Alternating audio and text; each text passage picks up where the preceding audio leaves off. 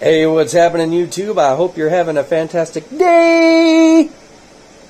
Uh, so, today's video is a video I promised. Okay, uh, last week I had done a poll, but um, I had gotten more votes for a dirted tank. However, uh, there were our two subscribers who are having trouble with their. Um, I always pronounce it the Alternaca Renakai. Oh, God. Anyway, so that's the name. Anyway, yes, this plant has been uh, frustrating me also, and actually my son's here. Say, say, say, hey, what's up, man? Hi. Yep, he's sitting in on this tutorial also. Uh, so there's, and you guys specifically, uh, uh, and who were they? Gary Allen and I Live for Tropical Fish. I made you guys a promise. So today's Monday, and I am going to literally do it to mine, show you what I'm talking about and you do the same thing. And we're going to kickstart their growth and start propagating them, depending on which kind you on which kind you have.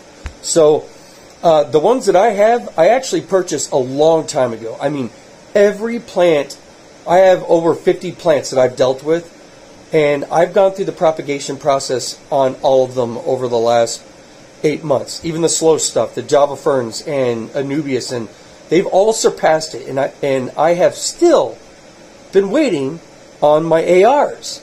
Okay, and then I realized my ARs that I got were both tissue cultured. Although now I go to nurseries and stuff, uh, they were both tissue cultured and sold to me. Uh, one from PetSmart and one from Petco. Okay, so if if you guys happen to get yours from there as well, you're gonna you're going to have what what I think you might be having going on also. Okay, because they are a tall, you know, uh, type of stem plant, but also really heavy root uh, root feeders. Um, but I drew a diagram, all right, and um, you know, I, I know my drawing skills are awesome, but uh, seriously, if y'all start like blowing up my mailbox with, you know, I love you letters and stuff, I'm, I'm going to kill the can- the channel now. So, anyway, you have the regular variant of AR that gets really tall. Okay? Really tall, and you know when it's ready to be propagated is because it'll start growing this mass of roots out of the center of it. And inside of that will be little tiny baby ARs in there, and you would slowly just pull the little babies out very slowly, like you would with Java fern. Very, very slowly. Take your time and replant it and keep plucking everyone off until you've gotten them all. All right? Now, if you got what I think I have, uh, which is called the AR Mini, it is a variant, and I had done some reading that um, it's being passed off as uh, through some places as um, regular AR, but it's actually the mini variant, which is actually one sign you can tell is that if it's growing a bit abnormally than what you think is slow, and in this hobby we know every even the plants we say are fast growing, it's not like you wake up tomorrow and the plant is done its thing. We're still talking weeks, if not like a month, you know, or even six months. But it's been over eight, and this plant has been bugging me, and I need to get to the bottom of it. So if it is the variant mini it'll actually stay exceptionally brighter on its underside than it would if it was a tall. This is without CO2. They do prefer CO2, but just because it's a plant that prefers CO2 doesn't mean you can't pull it off in a non-CO2 tank. It just takes longer. People who use CO2 are impatient. All right, you, you know. So there are before, and I'm going to literally pull it out. We're going to do this together. So the two of you, this is specifically for the for the two of you. So if anyone watches it's for you. And I promised it today, on Monday the 11th. So, um, I'm going to show you what to do, what to look for. I'm going to rip the whole thing out, you know, several of them out of the dirt, and we're going to inspect these, okay? And uh, first thing I'm going to tell you right now is that I've been able to keep their pink and red very well.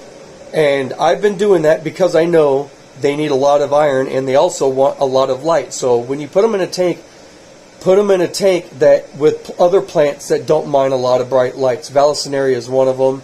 You know, taller plants, uh, and then they need lots of iron. And the two best um, iron supplements, that's if you don't get an organic soil that already has iron in it, look at the guaranteed analysis. All of them are going to have a lot of potassium and nitrogen and phosphates. Some of them will also provide either calcium and some will also provide iron and some will also provide magnesium. Usually not all of those, just like one of those four. And I usually just go with the nitrogen, potassium, um, and phosphates. Um, and then I, ha- I have the liquid ferts that provide the iron, um, which is what they love. But anyway, um, Co-op does make a great iron supplement. It's just iron. The amount of it per dose is uh, 26 parts per million. Now, actually, Fluval, I do, you know, they're all great in their own way. None is truly, you know, none of no liquid ferts are truly the best ferts. Okay, and eventually, when you do have fish going, their ammonia will also provide a lot of minerals that they need. You know, because it's all in the food that you feed them. But anyway, you know, that's why liquid ferts work best during its transition for a month or two at least before you throw fish in there is let them learn how to live off their own ammonia first. Because they'll create their own ammonia from their own leaves melting back falling off. It creates ammonia ammonia a smaller amount and it trains itself to be ready for ammonia. And then when you do get fish in there it's ready to go and then it's like it already knows how to convert it into energy you know because plants um, do go through a cycling phase as well um, you know, besides the water. They go through an ammonia cycling, so they can actually get ammonia burn if there's too much. So you're putting fish in there right away.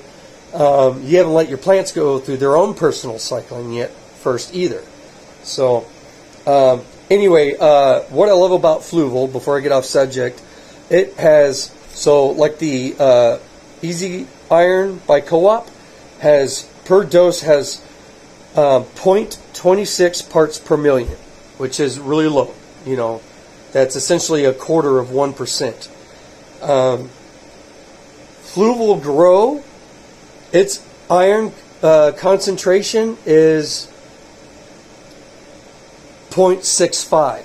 A lot higher. It's a lot more concentrated, but it is super dose. Like this, the cap is measured per for a 60 gallon tank so you're going to have to divide that up between some spoons to do anything less than that because it's it's such a huge it's such a huge concentrated amount. Um, I don't know why they assume everyone just starts off with 60 gallon tanks, but I've been doing this for a long time and I still don't have a 60 gallon tank. I mean, 40 gallons are massive, and they're like, we're not going to get into that now, but I have an argument about that too. You know, tank size does matter. So anyway, but besides the high amount of iron, which does beat, um, you know, aquarium co-op's iron, which is just iron, this also provides a lot of potash uh, and nitrogen, some extra nitrogen, but it's a small amount. Um, boron, copper, uh, manganese, you know, so which are the micro elements, which is great. So I prefer this, and it's not that expensive. Neither one is expensive. Uh, both have to be ordered online. I think the only place I've actually seen this on the shelf was one time at a PetSmart. I've never seen it at a Petco. Um, but if you don't like ordering online, API is sold widely at um, PetSmart, and they sell the API, um, their food supplement, which is just iron and potassium, and that's the only kind they sell. Or if you go to Petco, they sell Aqueon's iron. So if you're going to physically go to a store, either one of those big chain stores will sell you iron supplement. Just PetSmart is better because it because uh, it also has uh, potassium in it. So anyway, this video is already running super long, so let's pull it out. I'm going to pull a plant out. We're going to inspect it, and I have a feeling what I've been dealing with are actually the minis because they've had plenty of time to exceed. Um, you know, this 14 inch height they're supposed to get. I mean, they're they're definitely, you know, a bright red. I mean, Look at that. I know that's kind of hard to tell. It is uh, late at night. Usually I do this early in the morning. But I, I you know, I'd already pulled a few out before that because I, I, wanted to test my theory first, so I didn't look like a fool, you know, on uh, on my YouTube video.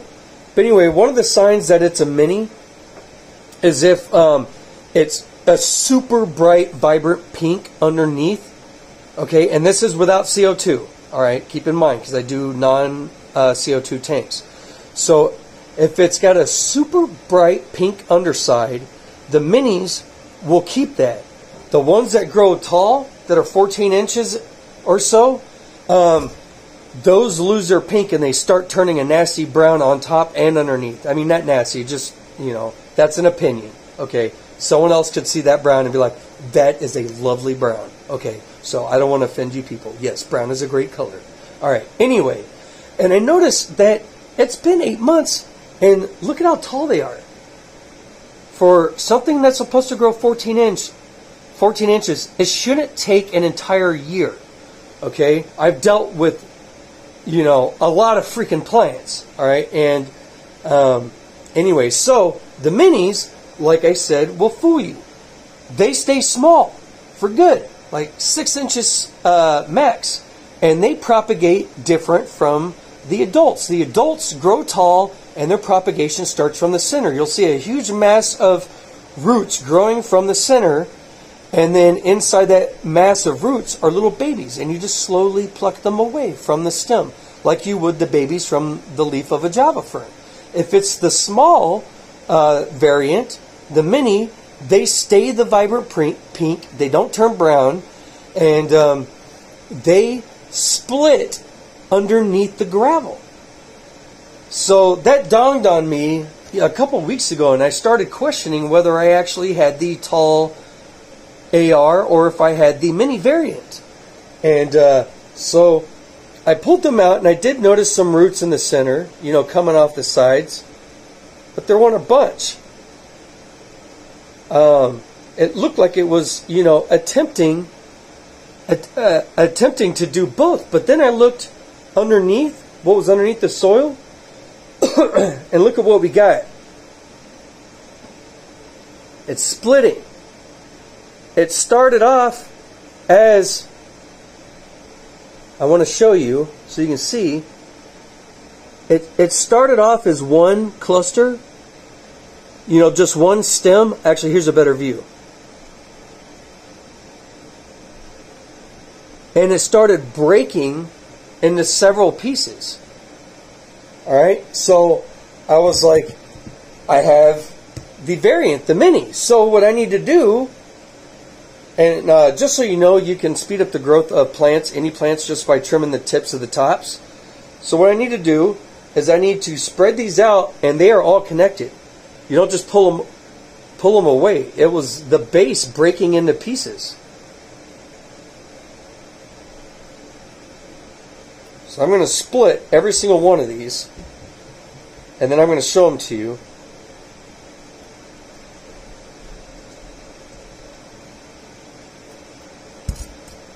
And these start getting flimsy fast. I also have a spray bottle. Soak these good. They they they want to be under underwater. They start wilting like uh, this is getting soft super fast on me. So, although this is a long video, you know I explain everything in full detail you know. Here is the other one. And one more to snip.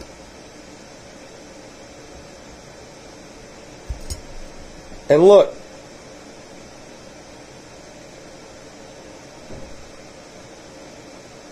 Out of one that started splitting under the surface, Look at how many I got. I got four. We're all going to watch it grow at the same time. Let's do this! I appreciate you all uh, staying tuned and watching to the end. I really appreciate it.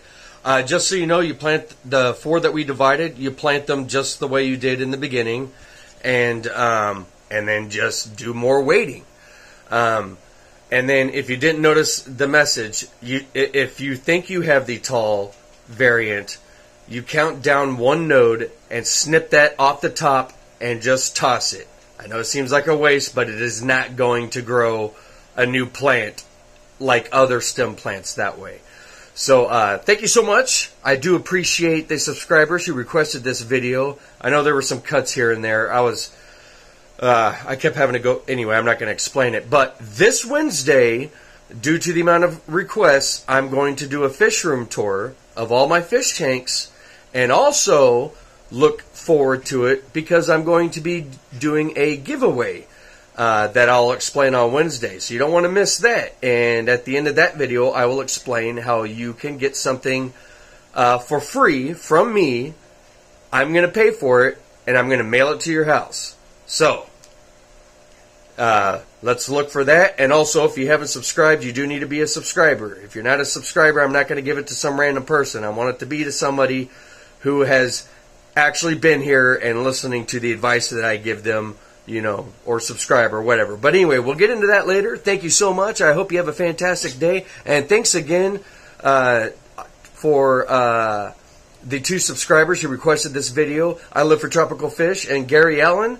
Don't miss this video. I walked you through it. So, see you next time. We'll see you Wednesday. Fish room tour and giveaway.